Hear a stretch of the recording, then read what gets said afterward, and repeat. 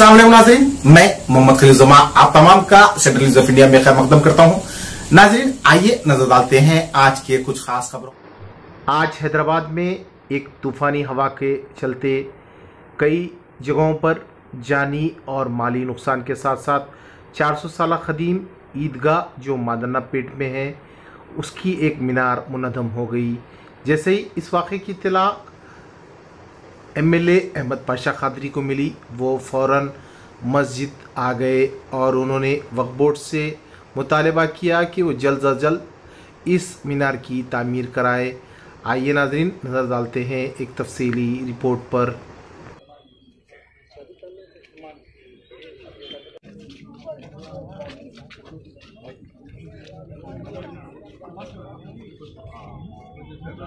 پہلا اور قدیم عیدگاہ مادنہ پیٹ جہاں پر جو نماز عیدین ادا ہوتی عید الفطر، عید الاضحیٰ، یہ بہت قدیم عیدگاہ ہے، حیدرآباد کی پہلی عیدگاہ باقی کی عیدگاہیں سب بعد میں بنے سو ہے یہاں پر آج تیز ہواؤں کے باعث اس عیدگاہ کا ایک مینار شہید ہوا اور اس کا تھوڑا سا حصہ جو میٹل میں پہ مشتمل تھا، نیچے گرا۔